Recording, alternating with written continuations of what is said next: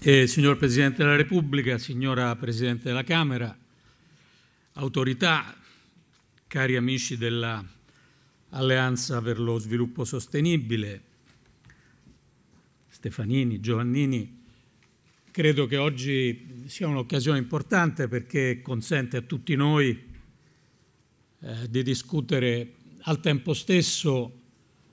guardando al futuro, la, la ragazza di Mattotti che, che, guarda al futuro, di cui avete fatto il, il marchio del vostro festival, ma di farlo se possibile anche agganciati al, alla realtà, agli impegni, ai doveri eh, delle istituzioni nazionali e locali che sono qui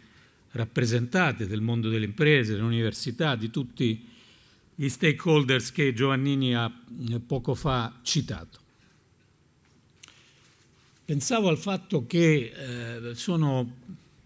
controllato su Google, sono esattamente 25 anni eh, da quella, e forse qualcuno dei presenti vi ha partecipato, ma non voglio fare nomi, eh, 25 anni da quella conferenza di Rio che si svolse nella prima decade di giugno del eh, 92 e che fu in fondo la, eh, la grande occasione internazionale per cominciare a dare cittadinanza al concetto di sviluppo sostenibile. Non fu un enorme successo diplomatico, ma fu uno straordinario evento dal punto di vista politico internazionale, multilaterale, dal punto di vista dei messaggi globali. Erano gli anni nei quali eh, cominciavano a maturare poi i, i Millennium Goals, i grandi obiettivi che le Nazioni Unite, la comunità internazionale si sono date al passaggio dal secondo al terzo millennio. Erano anni nei quali eh, uno dei nostri amici di allora, Alex Langer, lo voglio ricordare, diceva ogni nostro comportamento per essere equo dovrebbe essere moltiplicabile per 5 miliardi. Adesso i miliardi sono diventati 7, ma il messaggio era un messaggio di un quarto di secolo fa, acquisizione di questa dimensione globale da parte di una parte almeno eh, delle persone più sensibili, più avanzate nei nostri mondi. C'è sempre stata un po' di diffidenza nei confronti di questi percorsi onusiani, no? Della, sì, lo sviluppo sostenibile, sì, la, i Millennium Goals, vabbè, cioè un po' di sufficienza. Poi se andiamo a vedere i risultati che sono stati raggiunti, parlo di quella fase degli obiettivi indicati allora, ci rendiamo conto che sono stati eh, raggiunti dei risultati molto rilevanti. Più di un miliardo di persone uscite dalla povertà, diffusione di acqua, contrasto alle malattie, educazione, crescita di ruolo e di potere delle donne in molte delle società dei paesi,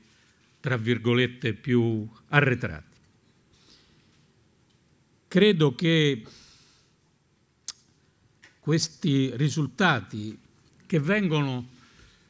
da un periodo che guardandolo adesso,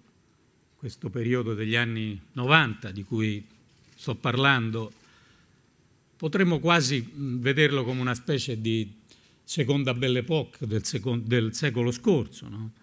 La Belle Époque normalmente è quella dei primi dieci anni del Novecento, ma in fondo anche gli ultimi dieci anni del Novecento sono stati in una certa misura una Belle Époque vabbè, insomma, sappiamo tutti, era un momento di grande ottimismo che bruscamente interrotto forse dagli attentati di New York e poi dalla crisi e poi da tanti altri processi che sono venuti avanti. Però credo che oggi che molto si parla, e giustamente, dei difetti della globalizzazione, dei limiti della globalizzazione, dei perdenti della globalizzazione, in cui è tornato di moda quel concetto di uh, forgotten man, che adesso è utilizzato molto spesso da un, una certa parte politica, ma che è un concetto che inventò Roosevelt durante la, la grande crisi negli anni 30. E figurarsi se non è giusto sottolineare i ritardi, le difficoltà, i difetti di questo processo, però credo che proprio in questo momento sia fondamentale ricordare anche i risultati che sono stati raggiunti in queste strategie. Non possiamo far fare ad altri paesi la parte di chi difende gli aspetti positivi dei processi globali. Dobbiamo, proprio nel momento in cui ne vediamo i limiti e cerchiamo di correggere gli errori, dobbiamo vederne anche noi i successi e i vantaggi, perché le coscienze dell'Occidente maturo non possono essere insensibili al fatto che centinaia e centinaia di milioni di persone in Asia, in America Latina, sono uscite da una condizione di povertà e di malattia. Se noi restiamo insensibili a queste dinamiche, imbocchiamo una strada che non so dove ci porterà. Quindi certo attenzione alle cose da correggere, ai limiti, ma anche consapevolezza dei risultati che sono stati raggiunti. Proprio sulla base dei risultati raggiunti e anche dei fallimenti, perché non sono mancati anche i fallimenti, delle strategie globali della fine del secolo scorso e quindi dei Millennium Goals, è maturata nel corso degli ultimi anni l'agenda 2030, l'agenda per lo sviluppo sostenibile, l'agenda che ha al centro quella integrazione di diversi sforzi nei 17 obiettivi di cui si è parlato nel corso del Festival della Sostenibilità. Oggi la base è il fatto che la sostenibilità è un concetto, almeno sul piano formale, universalmente condiviso. Non era così un quarto di secolo fa. Ma contemporaneamente il contesto internazionale in cui ci muoviamo ha delle caratteristiche, per usare un eufemismo, più complesse di quelle di alcuni decenni fa. Quindi è, è maturata la consapevolezza, veniva ricordato più qui in tanti mondi, non solo in Italia, ma contemporaneamente viviamo in un mondo in cui il rischio è che la globalizzazione venga messa in questione non per i suoi errori, per i suoi difetti e per le cose che vanno combattute e corrette, ma venga messa in discussione in quanto tale. Il multilateralismo, il ruolo delle Nazioni Unite, la collaborazione tra i diversi paesi, non sono più merci che si vendono a buon mercato nel contesto internazionale di oggi. E noi italiani che abbiamo giustamente negli ultimi decenni con forza riscoperto anche il valore dell'idea di patria, conosciamo, credo, molto bene il confine che esiste e che deve esistere tra patriottismo e nazionalismo, tra difesa degli interessi nazionali e contrapposizione tra interessi nazionali e interessi del tuo vicino, dei paesi che ti stanno attorno. Questo clima internazionale rende le sfide della sostenibilità più impegnative, più difficili, ma anche, credo, più importanti anche perché il mondo per certi versi è in bilico sul terreno dello sviluppo sostenibile. ha fatto, lo ricordavo prima, dei grandi passi in avanti, ma è in una condizione sospesa, in particolare in quel continente, l'Africa, dal quale dipende gran parte del nostro futuro e forse del futuro più in generale dell'umanità, se consideriamo che presto l'Africa supererà i 2 miliardi di abitanti. L'Africa l'anno scorso ha avuto un ritmo di crescita europeo, 1.4%, pur conservando ovviamente ritmi di crescita demografica africani, il che vuol dire molto banalmente che il reddito pro capite per la prima volta da molti anni in Africa l'anno scorso, nella media, e poi sappiamo che queste medie raccontano poco la verità della realtà di questi paesi, ma nella media è diminuito. Il che vuol dire che una grande speranza che in questi anni finalmente si è manifestata, e cioè che il continente dimenticato potesse essere una nuova frontiera di sviluppo, oggi è di nuovo in bilico. Sappiamo che questo dipende in parte dai, dal corso dei prezzi eh, del petrolio per alcuni grandi giganti africani, in parte dipende anche dalla siccità. E sappiamo che la siccità non è solo un problema come era magari qualche decennio fa,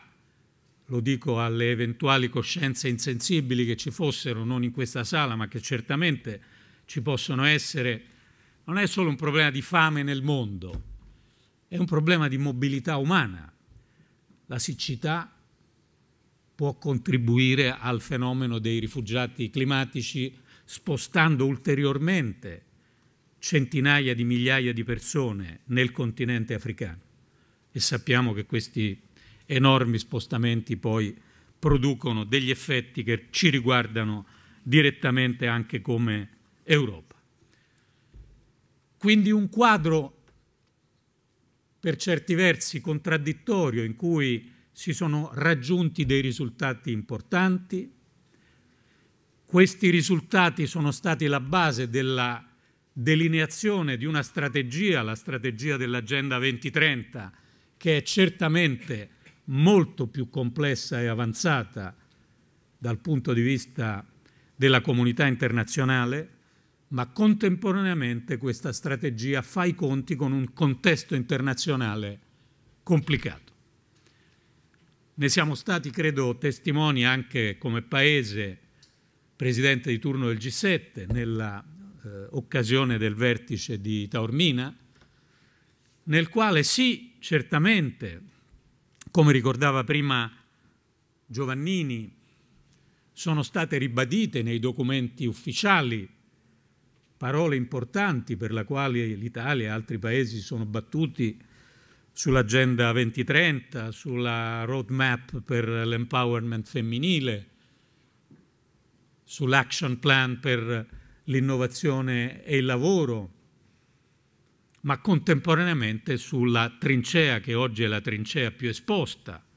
sulle questioni ambientali globali, cioè la trincea del clima, c'è stata una divisione tra sei paesi da una parte e gli Stati Uniti dall'altra. E io rivendico il fatto che da parte nostra, italiana, e lo abbiamo fatto in particolare dopo la decisione annunciata dal Presidente Trump, insieme ai nostri amici francesi e tedeschi, si sia presa una posizione che non è soltanto una posizione di conferma, ci mancherebbe, degli accordi di Parigi e degli impegni che alla fine del 2015 a Parigi abbiamo sottoscritto, ma è anche una posizione importante perché sottolinea l'impegno a non rinegoziare quegli accordi. Attenzione perché questa sarà la discussione e la sfida delle prossime settimane e dei prossimi mesi.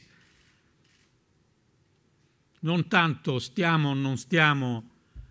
agli impegni di Parigi, quanto stiamo o non stiamo agli impegni sul Green Fund, che è lo strumento finanziario che consente ai paesi, tra virgolette, meno avanzati di eh, promuovere le loro azioni di contenimento dell'impatto eh, ambientale eh, sul clima. E Italia, Francia e Germania hanno detto non solo che noi stiamo agli accordi e agli impegni presi, ma che siamo contrari a rinegoziare quegli accordi e quegli impegni. E questo concetto io voglio ribadire qui anche in una settimana che si concluderà poi a Bologna con il G7 dell'ambiente. L'Italia, voglio dire in conclusione, farà la sua parte nel delineare nelle prossime settimane, nell'assumere nelle prossime settimane a livello di governo la nostra strategia per lo sviluppo sostenibile. In questo io credo che il contributo del lavoro che è stato fatto in queste settimane dalla, dall'Alleanza e dal vostro festival è un contributo straordinario. Perché insomma, non è che viviamo in tempi in cui la partecipazione politica e culturale sia un bene diffusissimo, o meglio, bisogna prenderla nel suo verso, perché poi siamo pieni di esempi che ci fanno vedere come se c'è un contenuto, se c'è un'idea, se c'è un obiettivo, la sollecitazione della partecipazione politica e culturale eh, trova riscontro e i numeri che prima voi citavate lo confermano. Però io qui vi voglio ringraziare pubblicamente a nome del governo e del Paese perché avete dato un contributo non solo di c'è una piattaforma e quante piattaforme riceve il governo, ve lo immaginate, ma c'è un processo, un dialogo, un'interlocuzione, un coinvolgimento dei diversi soggetti. Questo aiuta la strategia che il governo è chiamato poi a mettere in campo. E lo fa su un tema che è assolutamente al centro degli interessi dei nostri concittadini. Vedevo qualcuno che si stupiva quando eh, Giovannini ha mostrato quel cartello numero 27 del, di Demos eh, con il ranking delle principali preoccupazioni degli italiani, c'è al primo posto l'ambiente, ma basta chiederlo. Cioè, nei sondaggi spesso si fanno domande chiuse nelle quali magari non compare questo tipo di domanda. No? Se la domanda compare, in molti casi l'interpellato rispose e questo ci dimostra quel sondaggio. Quindi il tema è sentito, noi adotteremo il documento sulla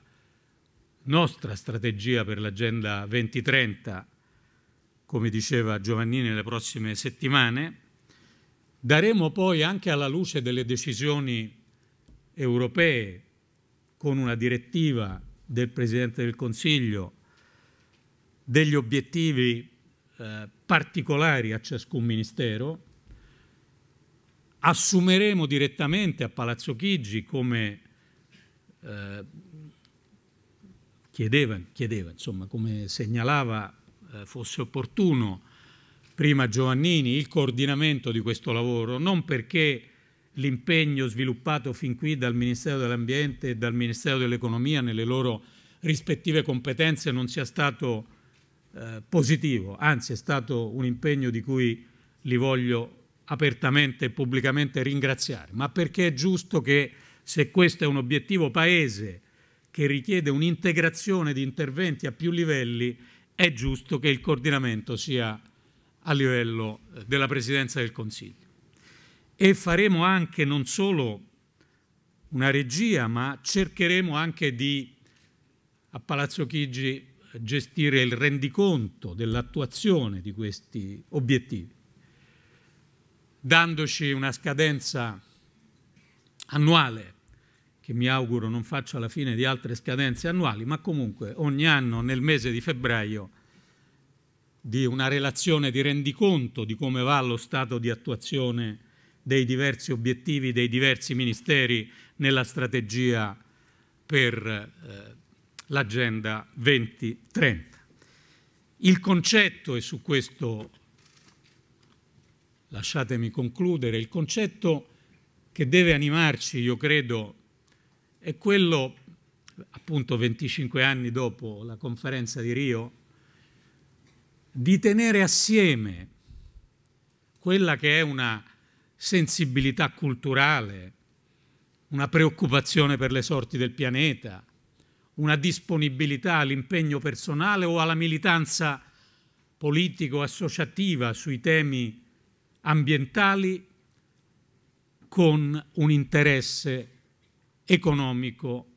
allo sviluppo del nostro Paese, perché è l'ora di avere consapevolezza che